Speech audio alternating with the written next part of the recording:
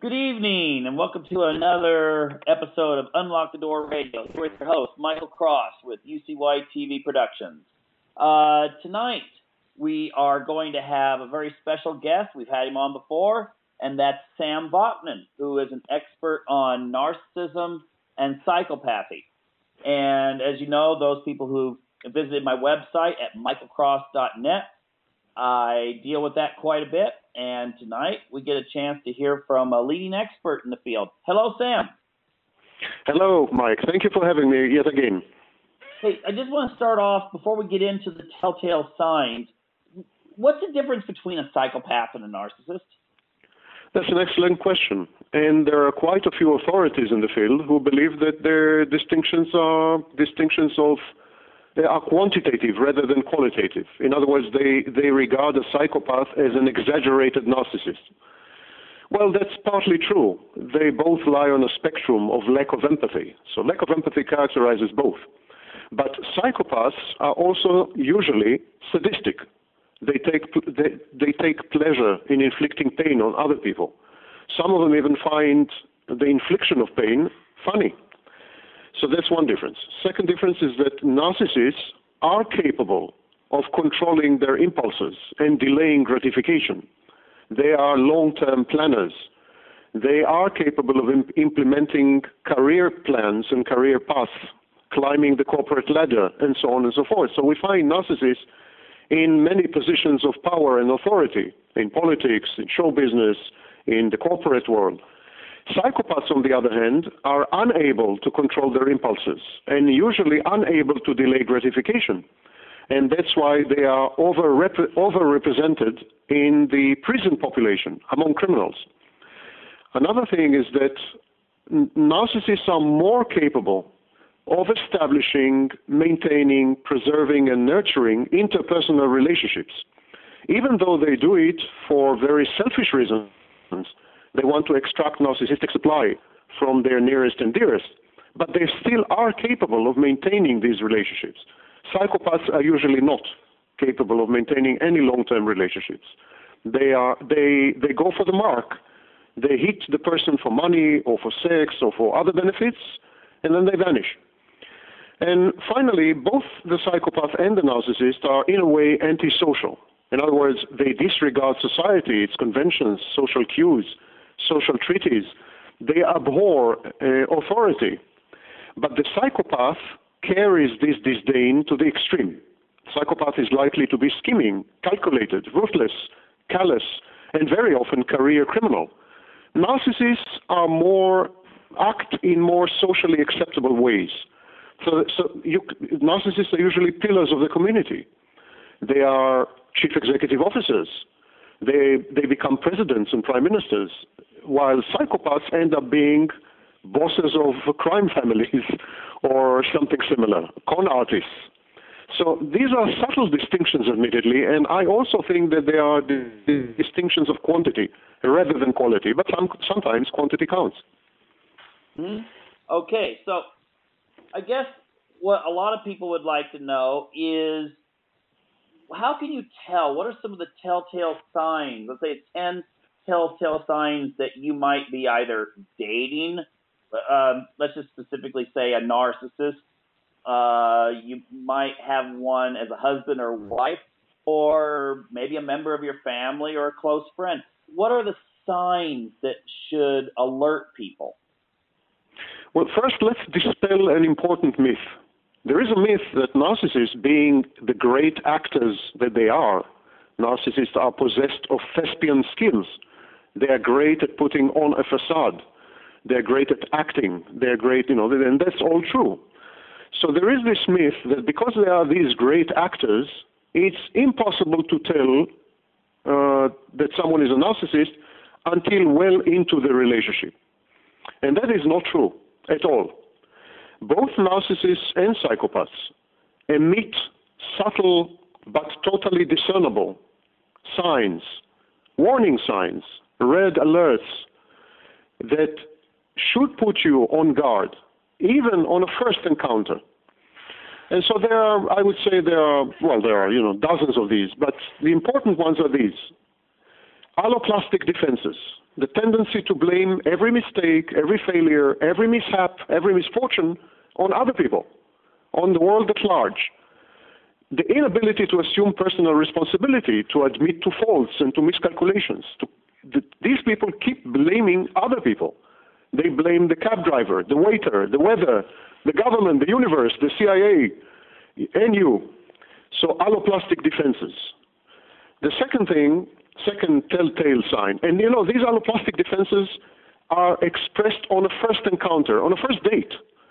The first time you meet a narcissist or a psychopath, he is likely to rant and rave on how hostile and stupid the world is, on how evil and malicious and calculating his boss is, on how uh, how his wife doesn't understand him, and so on and so forth. So putting the blame on other people is something that emerges on a first encounter. Second thing is hypersensitivity, or what we call in psychological parlance, hypervigilance. The narcissist and the psychopath, they're hypersensitive. They pick up fights. They feel constantly slighted, injured, insulted. They rant incessantly.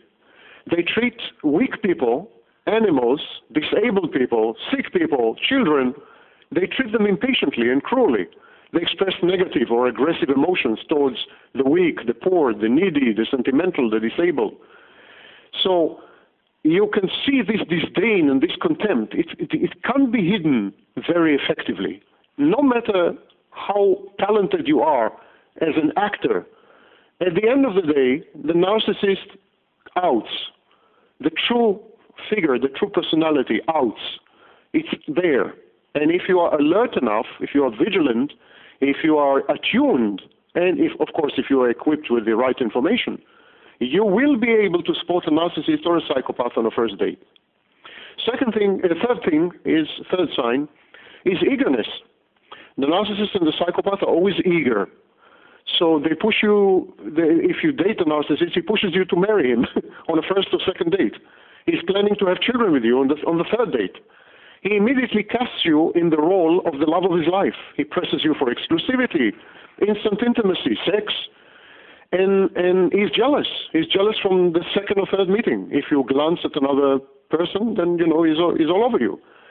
So this eagerness, this insane intensity, is typical of narcissists and, and psychopaths.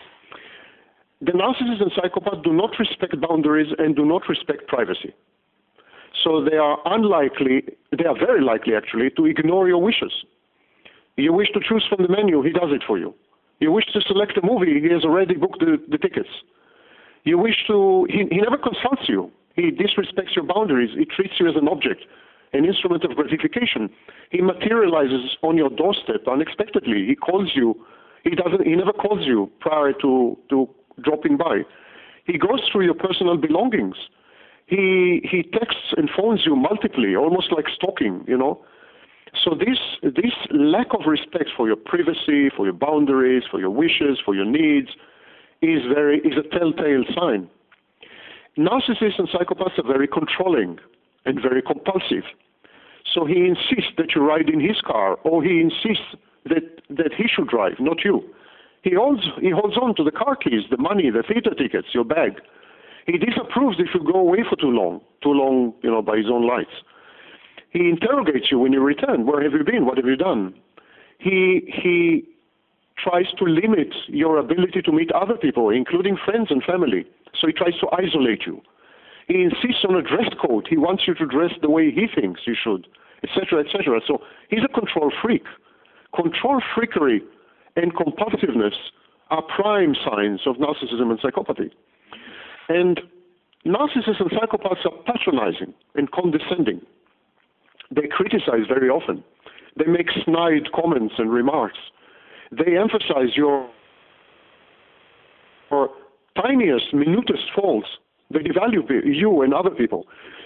But at the same time as they devalue you, at the same time as they harshly and cruelly criticize you, they also exaggerate your talents and your traits and your skills. So they move like a pendulum between idealization, you know, seeing you as the brightest, the most perfect, the love of his life, and so on, on the one hand, and devaluation, criticizing everything you do. You can never be right, you know. So this pendulum movement between idealization and devaluation, this cycle is very, very typical of a, of a narcissist. And when the narcissist devalues, and especially the psychopath, when they devalue, they're very violent and aggressive. They don't devalue, you know, by just, they, they harass, they ridicule, they call you names, they do it in public usually. They, the devaluation and idealization mean that the narcissist never sees you for who you really are. When he idealizes you, he is interacting with an object which is in his imagination because you are not ideal. And when he devalues you, he is equally interacting with an object, an avatar in his imagination, because you are not that bad. You are not that such a failure as he makes you out to be. So in both cases, he, you don't exist. He's, he interacts with the representation of you in his mind. And indeed, narcissists and psychopaths are incapable of perceiving other people as full fledged three dimensional organisms with their own needs, with their own wishes, fears, dreams, hopes, and preferences. They perceive other people as instruments of gratification, as cardboard cutouts, as avatars, representations in a giant video game which is called life. So beware and be careful when you meet someone and he immediately tells you that you make him feel good that you are the love of his life. Don't be impressed because next, next thing he will tell you that it's you who makes him feel bad, that you are responsible for his violence and his aggression, that you provoke him. And finally, I would say um, hints of sadism. That is less typical of narcissists, it's more typical of psychopaths. Hints of sadism. So anything from sadistic sex, uh, fantasies of rape, uh, sexual paraphilias, attraction to porn addiction, attraction to, to minors, forcefulness, uh, ignoring your pleas and, and requests, you know, not hearing the no, um, hurting you physically and finding it amusing, abusing you verbally, um, and find that, finding that amusing, uh, and of course physical violence, and and especially the transition immediately after such humiliations and abuse and battering and aggression, the transition from these to saccharine, loving, apologizing profusely, buying you gifts, groveling uh, at your feet, and so on. these transitions are the, the important sign. This impossible dual personality, I don't want to say multiple personality, but sometimes it strikes, it strikes the interlocutor, sometimes it strikes the observer as though narcissists and psychopaths have two personalities, if not more. It's really like some kind of dissociation, dissociative identity disorder. And in my work, I suggest that pathological narcissism is a form of dissociating, dissociative identity disorder, that it is a form of what used to be called multiple personality. And you can't you know, w- why people don't notice these signs immediately? Because they don't want to. On the dating scene, people are usually desperate. They have been looking, casting the net for so long. They have been alone for so long. They haven't had sex for so many years. They haven't had companionship for decades. So they tend to overlook, they tend to deny, ignore, and suppress any information which may lead them to the inevitable conclusion that they are dating a very mentally sick person. They try to, to uh, they actually idealize. They idealize. As the narcissist and psychopath idealize them, they idealize the narcissist and psychopath. So they find all kind of excuses, you know. In, deep inside, he's a nice man. He had a difficult childhood. If I give him love, he will change. He promised to change. He, he loves me a lot he adores me. You know, they, they tell themselves all the kind of all these kind of stupid stories, and I call this phenomenon malignant optimism. Well, it's, it it seems like in today's society you have, I don't know, a lot of guys are kind of like you know giving up on marriage and commitment, and then of course you have a large then number of women whose biological clock is ticking. They're over thirty. They have, and then it seems like in today's society, then the psychopath and the narcissist has a very happy hunting ground for potential victims. Oh, absolutely. The dating scene is flooded with, flooded with them. The dating scene, online and offline, is a negative filter. It filters out the more balanced, healthy individuals. These usually find mate via uh, third parties, via uh, word of mouth, via recommendations. They they are well integrated into the social fabric. They have their own social networks, and through these, they find the appropriate mate. Narcissists and psychopaths are hunters. They are predators, and so the, the dating scene is a filter through which only, or mostly, narcissists and psychopaths, uh, you know, emerge. And uh, you're absolutely right. Okay. Now, I have heard I have heard a lot of people who've been in relationships with uh, psychopaths and at, at, least psychopaths. I don't know about narcissists, but uh, I've read where a lot of them they feel that the experience itself, when they were in the relationship, the sex was fantastic. Uh, they may have lived a repressed lifestyle, and all of a sudden, this person is showing them an entirely new world uh, getting them to go beyond their preset boundaries. And so, in the relationship itself, it's it's something that a lot of people get a real adrenaline uh, push from. Do you find that to be the case?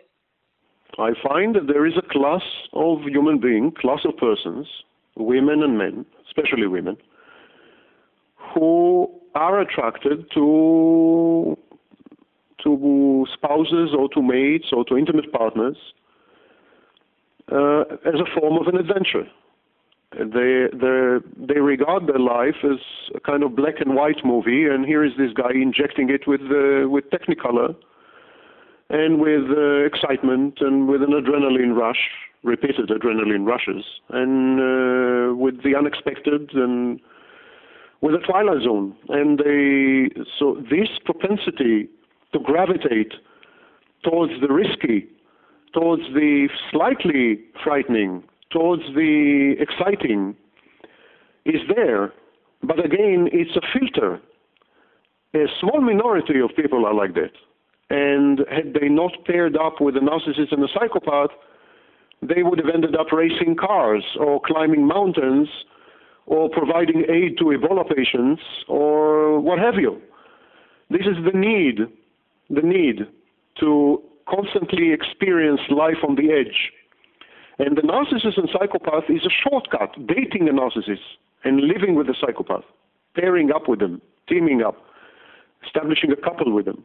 It's a shortcut towards achieving this the the constant doses of adrenaline that these junkies need. They're adrenaline junkies. So yes, if you talk to these people, they would say that the relationship with the psychopath and the narcissist has been harrowing, that they have been abused, and so on and so forth. But it was a very fascinating, interesting period. And now they feel dead inside because nothing is happening. Now they're dating a, a stable, healthy guy, and it, it's boring. It's boring, it's black and white, it's predictable, and uh, they're dying. They, they, um, they feel like they're dying, slowly, incrementally, but it's, it's death creeping up on them and they go out then they they break up the relationship and they go up go out seeking the next dose seeking the pusher known as narcissist or psychopath but these are highly specific people. As i just told you these some of them date narcissists and psychopaths other others climb mountains or race cars and others end up being drug addicts. So it's a highly specific profile i would not generalize. Okay. Uh, can a narcissist or a psychopath actually be a good marriage partner, though? I mean, in, in some cases, depending on if they're raised in a very committed family situation, can they in turn uh, be committed to their partner? Absolutely. Uh, in one of the chapters of my book, Malignant Self Love Narcissism Revisited, I discuss the phenomenon of stable narcissists. Most narcissists actually have an island of stability in their lives. And so there is this island of stability surrounded by an ocean of instability. So, for example, some narcissists are committed to a career path within a specific company or corporation. So they climb the corporate ladder very patiently. They invest in their work. They're, they are workaholics, actually. They and you know, uh, 30 years later, they're the chief executive officers of the company. They started working in the company when they were 19.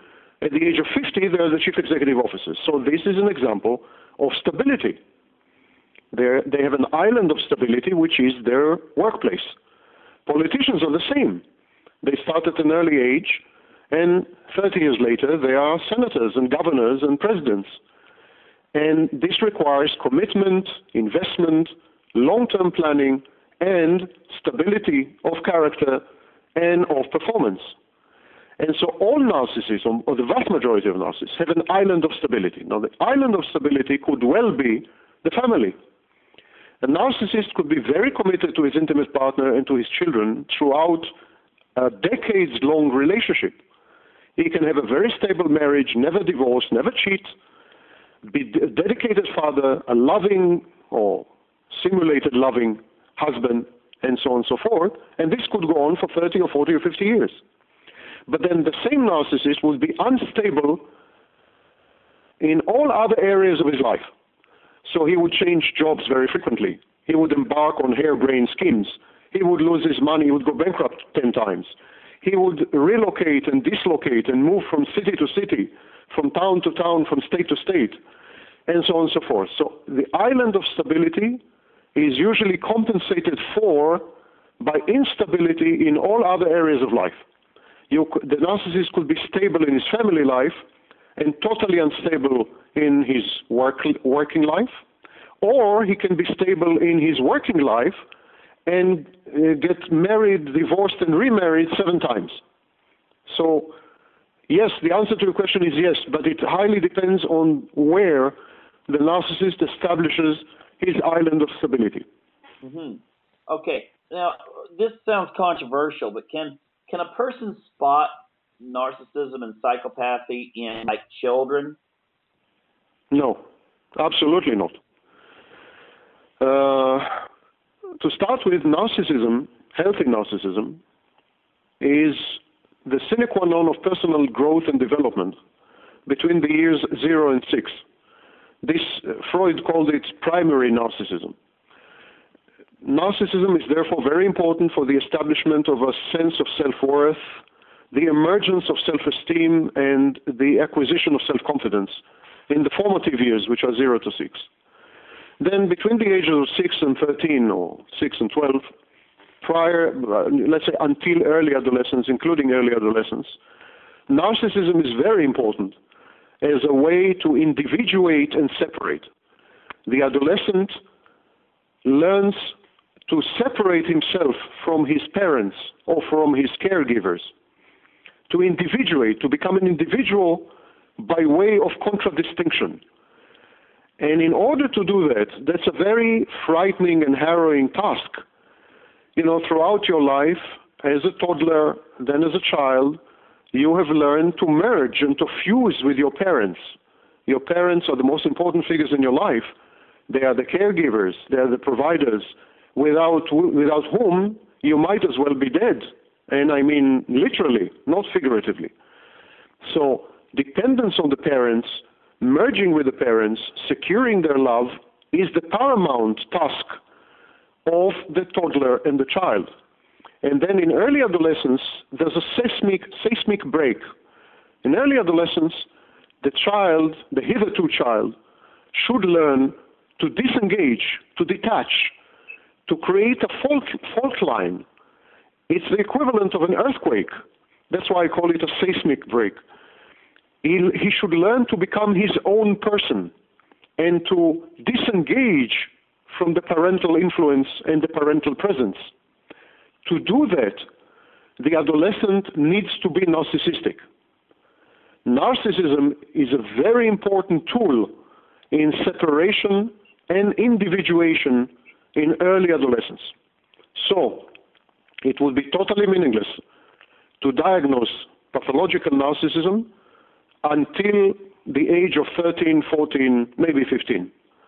Because the narcissistic behaviors and traits, which are very typical of adolescents, very typical of toddlers and young children, are actually healthy. Not so with psychopathy. Psychopathy can be, or the precursors, to be precise, the precursors, the, the antecedents of psychopathy, can be diagnosed at an early age. Actually, there is a diagnosis in the Diagnostic and Statistical Manual. It's called conduct disorder. Conduct disorder is psychopathy for children. Children psychopaths are diagnosed with conduct disorder and oppositional defiant disorder. So there are children who torture animals and find it very delectable, pleasurable, and funny. They, they despise and abhor authority, and so they are very defiant to the point of destructiveness. They are destructive, destructive of objects, of relationships. Their, their behavior is criminalized and antisocial. They tend to hang out in gangs, to commit crimes, petty crimes. Some of them are very violent, and they take out their violence on siblings and uh, neighbors and so on. So we have the telltale signs of psychopathy in early, even in early childhood. And the reason is the psychopathy is more and more considered to be a disorder of the brain, similar to depression or to schizophrenia, schizophrenia paranoia.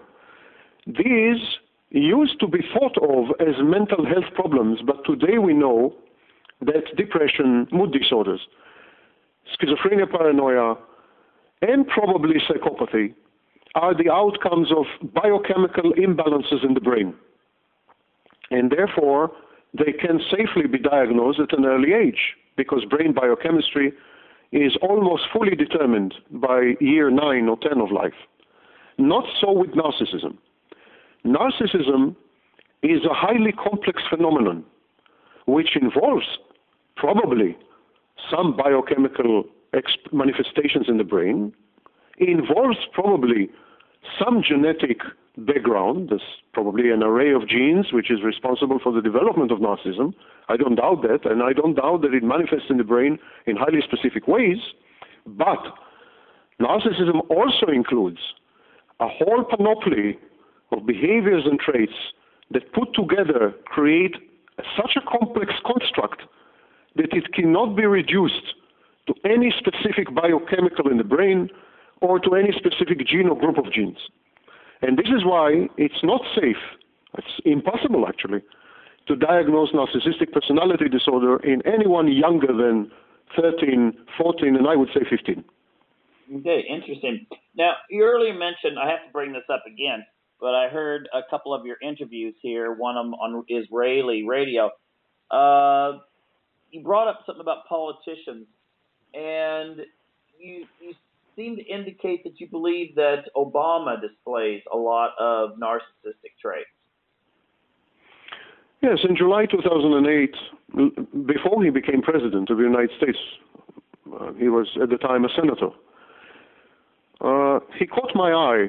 I, I was roving, as is my habit, on YouTube. And suddenly I saw this video of a young uh, black politician um, you know, gesturing and talking and so on. I said, my God, this guy has the body language of a narcissist, you know. Who is this guy? And I, I started watching videos featuring Barack Obama. Uh, again, very important to, to realize that when I started studying the guy in 2006, there was not a hint that he would be the president of the United States. I did not study him because he became president of the United States.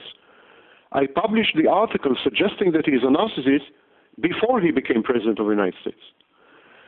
And, and so uh, I gradually, I ended up watching hundreds of hours of Barack Obama. He fascinated me for, for a variety of reasons. But I, I was able to discern um, analytically several features which are usually typical of narcissists. For instance, pronoun density, first person pronoun density, the use of I, my, myself, and mine in speeches.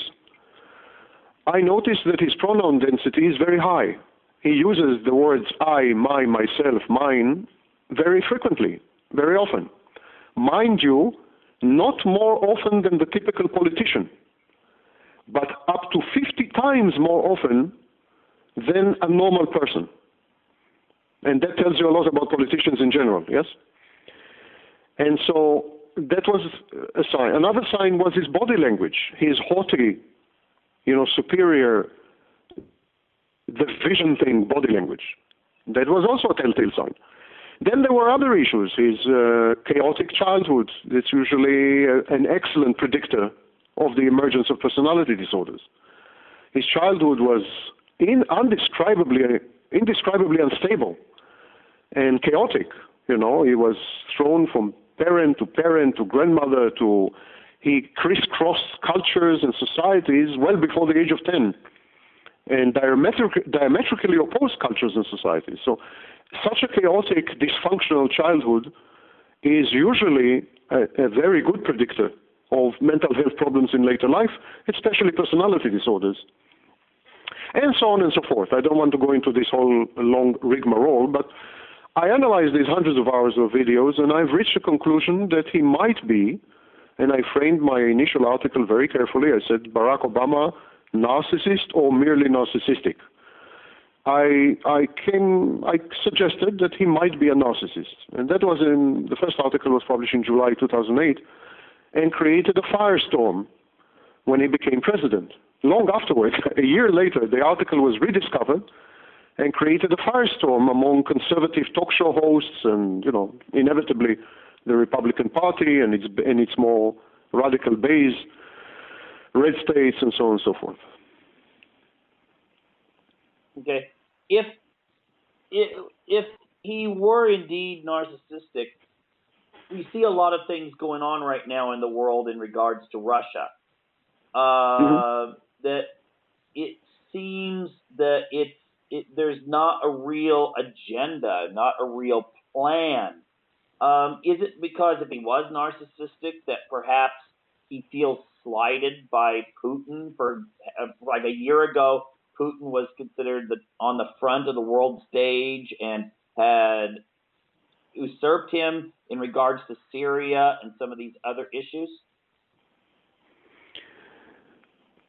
I don't think it is either safe or recommended to apply a specific mental health uh, pathology, to apply a mental health pathology to specific geopolitical situations because the number of considerations and the complexity of arguments which go into the formation of a policy, especially in a country as bureaucratic, as complex, as hyperstructured as the United States, the number of arguments and considerations that go into the feed feed into the decision making machine, um, these usually overshadow any specific pathology in the decision maker. Barack Obama may be the ultimate decision maker, but he's definitely not the only decision maker.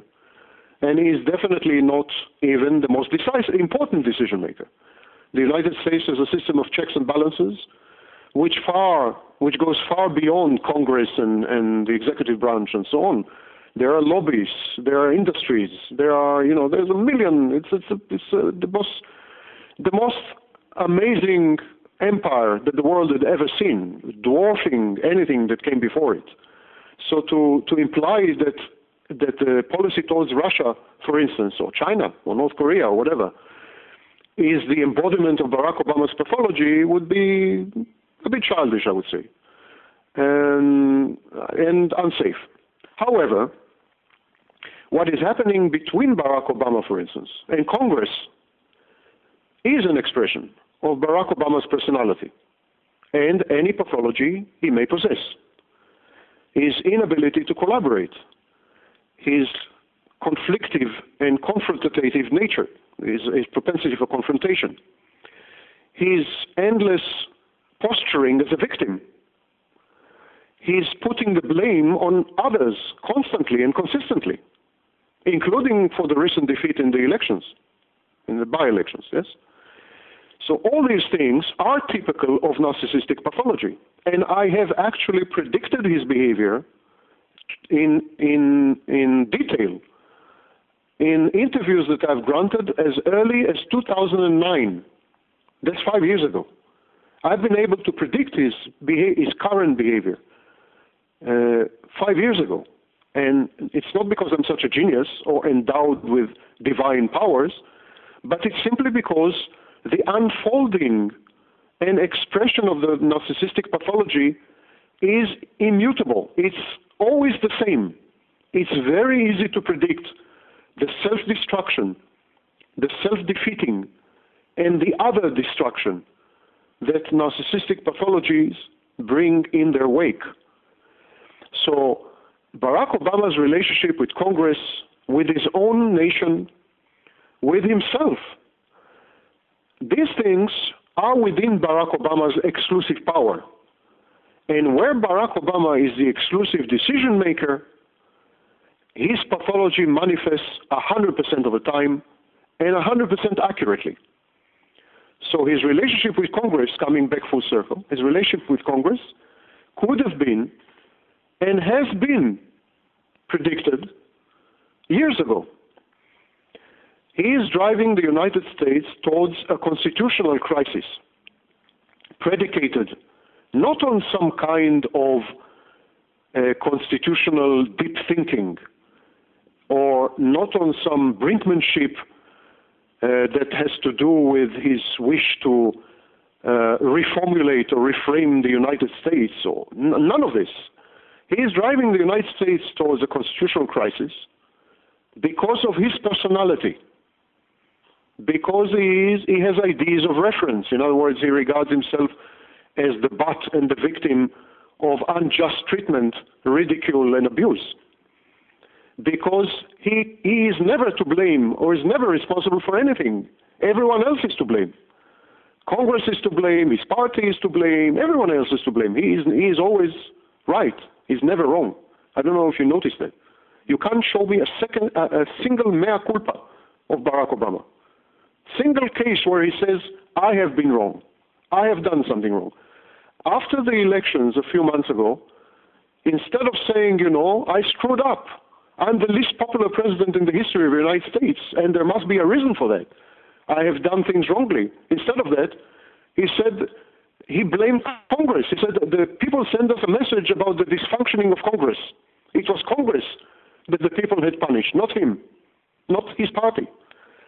So all these things are very indicative of deep set narcissistic pathology, and I'm sorry and frightened to say that the end is nigh and very predictable. Barack Obama is going to drive the United States domestically. I don't think you should concentrate on Russia, Iraq, Italy, or Germany. These are not the main issues. The main issue is what Barack Obama is doing to the United States within the United States how he, he is, owing to his very sick personality, dismantling the structures that the founding fathers put wisely and sagely in place, how he is dismantling these just in order to satisfy his vindictive urge for self gratification and self justification. This is something narcissists are incapable of controlling. These are impulses that are stronger than they are. The need to uphold the false self, the grandiose self image, the inflated self perception, the belief that they are always right. And they would sacrifice anything to prove that, including their own country, nation, and ultimately, as you know, we have seen in other cases, other cases of other leaders, ultimately they would even sacrifice themselves.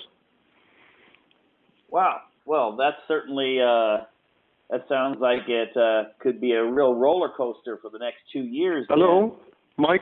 I can't hear you. Oh, it sounds like Mike. I haven't heard the last sentence. I'm afraid. Huh? Okay, hear me now? I haven't heard the last sentence. Yes, I can hear you now. Okay, it sounds like that the United States then is in for a real roller coaster of a ride for the next two years. Sure is. Sure is. Wow. Okay, well, you know, we're coming up to the end of our time now. Uh, where can people find more information about uh, your books and and uh, your website and these sorts of things? Uh, before, with your permission, before I, I respond to this last generous question, I would like to quote a giant, a towering giant of, person, of the field of personality disorders, Theodore Millon.